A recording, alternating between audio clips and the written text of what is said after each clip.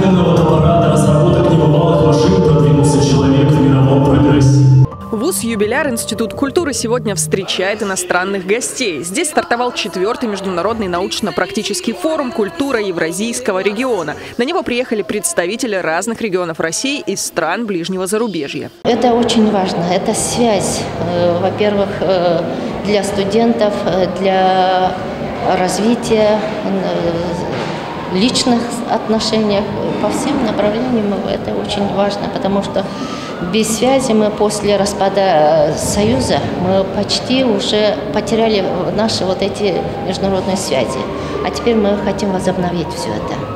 Причем мероприятия организованы не только для развития добрососедских отношений, подчеркивает ректор АГИК, но и нацелены на формирование потенциала в областях научной, образовательной и творческой деятельности. Мы а, совместно а, со всеми образовательными организациями реализуем не просто а, и не только академические обмены студентов, преподавателей, но мы занимаемся главными государственными задачами. Это сохранение культурного, материального и нематериального наследия, сохранение исторической памяти. Эти дискуссионные вопросы в течение нескольких дней будут обсуждать на круглых столах научно-практической конференции. А ключевым событием форума станет панельная дискуссия «Культурное сотрудничество стран Евразии в условиях современности. Вызовы, задачи, стратегии». Юбилей, как правило, проходит в течение года. И в течение года я в курсе, что институт провел очень много мероприятий. Это были кафедральные, факультетские, институтские мероприятия в рамках э, края, в рамках города.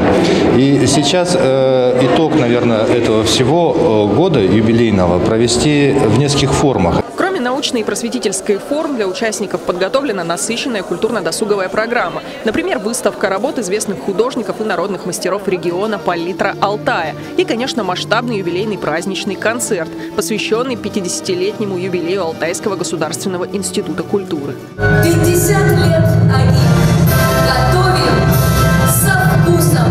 мы как старший брат, мы, наш институт был образован в 1960 году. Соответственно, мы как старшие товарищи, партнеры приехали поздравить институт с таким замечательным юбилеем. Международный научно-практический форум «Культура Евразийского региона» закончится 2 июня 2024 года. Юлия Щепина, Андрей Печоркин. День с толком.